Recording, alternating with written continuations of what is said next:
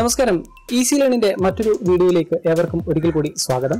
കഴിഞ്ഞ വീഡിയോകളിൽ നമ്മൾ ചർച്ച ചെയ്തുകൊണ്ടിരിക്കുന്നത് പെട്രോൾ എഞ്ചിൻ ഉപയോഗിക്കുന്ന വാഹനങ്ങളിൽ ടാങ്കിൽ നിന്ന് എങ്ങനെയാണ് എഞ്ചിനിലേക്ക് ഇന്ധനം എത്തുന്നത് എന്ന കാര്യമാണ്. അതിനിടയിലുള്ള പ്രധാനപ്പെട്ട ഭാഗങ്ങളെക്കുറിച്ചൊക്കെ നമ്മൾ പരാമർശിച്ചിട്ടുണ്ട്.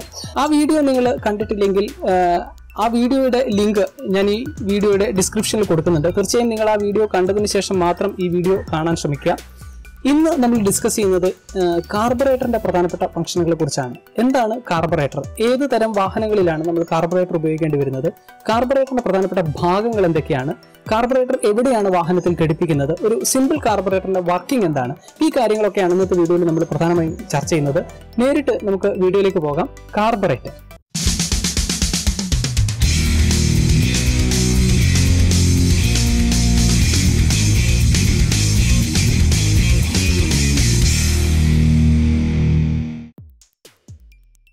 പെട്രോൾ എഞ്ചിനുകളിൽ എയറിനെയും ഫ്യുവലിനെയും മിക്സ് ചെയ്യുന്ന ഭാഗമാണ് കാർബറേറ്റർ. എയർ ഫിൽറ്ററിനും ഇൻലെറ്റ് മാനിഫോൾഡിനും ഇടയിലാണ് ഒരു കാർബറേറ്ററിന്റെ സ്ഥാനം. കാർബൈഡ് എന്നർത്ഥം വരുന്ന കാർബർ എന്ന ഫ്രഞ്ച് പദത്തിൽ നിന്നാണ് കാർബറേറ്റർ എന്ന വാക്ക് ഉടലെടുക്കുന്നത്. കമ്പൈൻസ് വിത്ത് കാർബൺ അഥവാ കാർബണുമായി കൂടിച്ചേരുക എന്നതാണ് ഈ വാക്കിന്റെ അർത്ഥം. ആയിരത്തി എണ്ണൂറ്റി ഇരുപത്തിയാറിലാണ് സാമുവൽ മുറെ എന്ന ശാസ്ത്രജ്ഞൻ ആദ്യമായി കാർബറേറ്റർ കണ്ടുപിടിക്കുന്നത്. പിന്നീട് ആയിരത്തി എണ്ണൂറ്റി എഴുപത്തിരണ്ടിൽ സേക്ഫ്രിഡ് മാർക്കസ് ഒരു പെട്രോളിയം എഞ്ചിനിൽ കാർബറേറ്റർ ഉപയോഗിക്കുന്നതിനുള്ള പേറ്റന്റ് കരസ്ഥമാക്കി. ആയിരത്തി എണ്ണൂറ്റി എൺപത്തി എട്ടിൽ കാർബറേറ്റർ ഉപയോഗിച്ചുള്ള തന്റെ ഇന്റേണൽ കമ്പസ്റ്റൻ എഞ്ചിന്റെ പേറ്റന്റ് കാൾ ബെൻസും നേടിക്കഴിഞ്ഞിരുന്നു. എന്നാൽ നമ്മൾ ഇന്ന് കാണുന്ന രൂപത്തിലും ഭാവത്തിലുമുള്ള കാർബറേറ്റർ ഡെവലപ്പ് ചെയ്യുകയും അത് ഇന്റേണൽ കമ്പസ്റ്റൻ എഞ്ചിനിൽ ഉപയോഗിക്കുകയും ചെയ്തത് വില്യം മേബാക്കും ഗോട്ട്ലേബ് ഡാംലറുമാണ്. കാർബറേറ്ററിന്റെ ചരിത്രങ്ങളിലൂടെ സഞ്ചരിക്കുമ്പോൾ തുടക്കം മുതൽ ഇങ്ങോളം നിരവധി കമ്പനികൾ നിരവധി മോഡലിലും പ്രവർത്തന രീതിയിലുമുള്ള കാർബറേറ്ററുകൾ ഓട്ടോമോട്ടീവ് വാഹനങ്ങൾക്ക് വേണ്ടി രൂപകൽപ്പന ചെയ്തിട്ടുണ്ട്.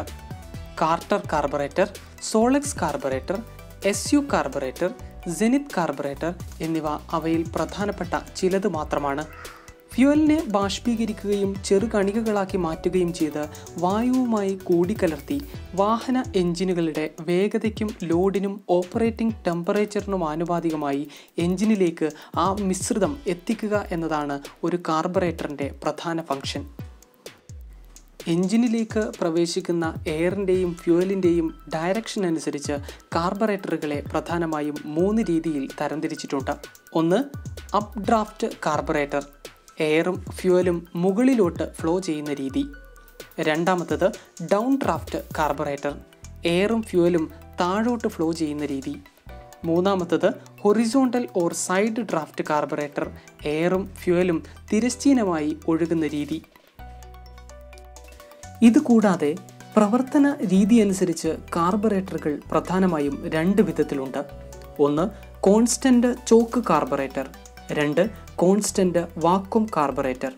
ഇനി ഇതിനൊക്കെ പുറമെ venturi അറേഞ്ച്മെന്റിനനുസരിച്ച് single venturi double venturi triple venturi multi venturi എന്നിങ്ങനെയൊക്കെ കാർബറേറ്ററുകൾക്ക് തരംതിരിവുകളുണ്ട്. ആകെ കൺഫ്യൂഷനായി അല്ലേ? ഇതൊക്കെ എന്താണ് എന്ന് മനസ്സിലാകണമെങ്കിൽ ആദ്യം ഒരു സിമ്പിൾ കാർബറേറ്ററിന്റെ പ്രവർത്തനത്തെക്കുറിച്ച് അറിയണം. ഏതൊരു കാർബറേറ്ററിനും അടിസ്ഥാനമായി ഉണ്ടായിരിക്കുന്ന ചില ഭാഗങ്ങളെ ആദ്യം പരിചയപ്പെടാം. ഫ്ലോട്ട് ചാമ്പർ കാർബറേറ്ററിലെ ഇന്ധന സംഭരണിയാണ് ഇത്. ടാങ്കിലെ പെട്രോൾ ഫ്യൂൽ ഫീഡ് പമ്പാണ് കാർബറേറ്ററിന്റെ ഫ്ലോട്ട് ചാമ്പറിലേക്ക് എത്തിക്കുന്നത്. അത് എങ്ങനെയാണ് എന്ന് മുൻപിലത്തെ വീഡിയോയിൽ വിശദീകരിക്കുന്നുണ്ട്. കാണാത്തവരുണ്ടെങ്കിൽ ആ വീഡിയോ കാണാൻ ശ്രമിക്കുക. ഫ്ലോട്ട് ചാമ്പറിലുള്ള പെട്രോളിന് മുകളിൽ പൊങ്ങിക്കിടക്കുന്ന ഒരു ഭാഗമാണ് ഫ്ലോട്ട്. ഉള്ളു പൊള്ളയായ കനം കുറഞ്ഞ കോപ്പർ തകിട് കൊണ്ടോ പ്ലാസ്റ്റിക് കൊണ്ടോ ആണ് ഈ ഫ്ലോട്ട് നിർമ്മിക്കുന്നത്. ചേംബറിൽ പെട്രോൾ നിറയുമ്പോൾ ഫ്ലോട്ടിനോട് ചേർന്നുള്ള നീഡിൽ വാൾവ് അടയുന്നത് എങ്ങനെയാണ് എന്നതും കഴിഞ്ഞ വീഡിയോയിൽ വിശദീകരിക്കുന്നുണ്ട്.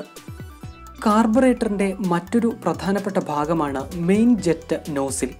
സാധാരണഗതിയിൽ എഞ്ചിൻ സക്ഷൻ നടക്കുന്നതിന് ആനുപാതികമായി എയർ ഹോൺ അഥവാ കാർബറേറ്റർ ട്യൂബിലൂടെ കടന്നു വരുന്ന എയറിലേക്ക് ഫ്യുവൽ സ്പ്രേ ചെയ്ത് കൊടുക്കുന്നത് ഈ മെയിൻ ജെറ്റ് നോസിലാണ്.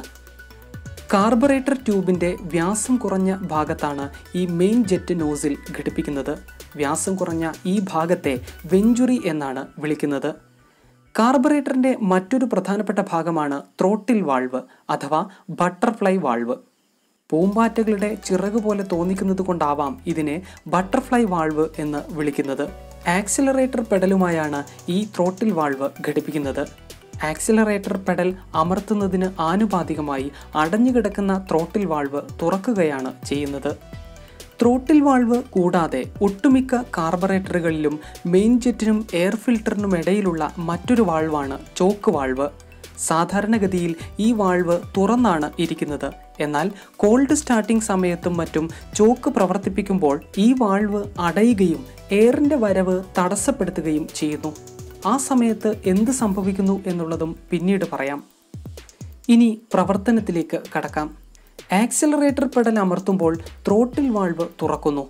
അതുവരെ എഞ്ചിൻ വലിവ് ത്രോട്ടിൽ വാൾവിന് താഴെ മാത്രമാണ് അനുഭവപ്പെട്ടിരുന്നത് എങ്കിൽ വാൾവ് തുറക്കുന്നതോടുകൂടി എയർ ഹോണിൽ അഥവാ കാർബറേറ്റർ ട്യൂബിൽ മുഴുവൻ എഞ്ചിൻ സക്ഷൻ അനുഭവപ്പെടുകയും എയർ ഫിൽട്ടറിലൂടെ വായു എഞ്ചിനിലേക്ക് പ്രവേശിക്കാൻ തുടങ്ങുകയും ചെയ്യുന്നു. ഇങ്ങനെ വായു എൻജിൻ സിലിണ്ടറിനുള്ളിലേക്ക് പ്രവേശിക്കുമ്പോൾ നേരത്തെ ഞാൻ സൂചിപ്പിച്ച കാർബറേറ്റർ ട്യൂബിന്റെ വ്യാസം കുറഞ്ഞ വെഞ്ചുറി എന്ന ഭാഗത്തുകൂടി കടന്നു പോവുകയും അവിടെ വ്യാസം കുറവായതുകൊണ്ട് എയർ ഫ്ലോ സ്പീഡ് കൂടുകയും പ്രഷർ കുറയുകയും ചെയ്യുന്നു. ബെർണോളീസ് തിയറം വെഞ്ചുറി പ്രിൻസിപ്പിൾ എന്നൊക്കെയാണ് ഈ പ്രതിഭാസത്തിന് പറയുന്നത്. കാര്യം എന്തൊക്കെയായാലും ഇങ്ങനെ പ്രഷർ കുറയുന്നത് കൊണ്ടാണ് ഇവിടെ ഘടിപ്പിച്ച മെയിൻ ജെറ്റ് നോസിലിൽ ഫ്യുവലിന് വലിവ് ബലം അനുഭവപ്പെടുകയും അത് സ്പ്രേ ചെയ്ത് പുറത്തു വരികയും ചെയ്യുന്നത്. ആക്സിലറേറ്റർ പെഡൽ വീണ്ടും വീണ്ടും താഴോട്ട് അമർത്തുമ്പോൾ ത്രോട്ടിൽ വാൾവ് കൂടുതലായി തുറക്കുകയും എയർ ഹോണിലെ സക്ഷൻ കൂടുകയും വായു കൂടുതലായി കടന്നു വരികയും ചെയ്യുന്നു. ഈ സമയത്ത് വെഞ്ചുറി ഭാഗത്തെ എയർ ഫ്ലോ സ്പീഡ് വർദ്ധിക്കുകയും അവിടെ വീണ്ടും വീണ്ടും പ്രഷർ കുറയുകയും ചെയ്യുന്നു. അങ്ങനെ വരുമ്പോൾ കൂടുതൽ അളവിലുള്ള ഫ്യുവൽ ജെറ്റിലൂടെ പുറത്തു കടക്കുകയും വായുവിൽ കലരുകയും എഞ്ചിൻ വേഗത വർദ്ധിക്കുകയും ചെയ്യുന്നു. കാർബറേറ്ററിന്റെ പ്രവർത്തനത്തെക്കുറിച്ച് ഇനിയും ഒരുപാട് സംശയങ്ങൾ നിങ്ങൾക്കുണ്ട് എന്നെനിക്കറിയാം. ചാനൽ സബ്സ്ക്രൈബ് ചെയ്ത് ബെൽ ഐക്കൺ അമർത്തി അടുത്ത വീഡിയോ വരുന്നതുവരെ കാത്തിരിക്കുക. വീഡിയോ മുഴുവനായും കണ്ടതിന് ഒരിക്കൽ കൂടി നന്ദി.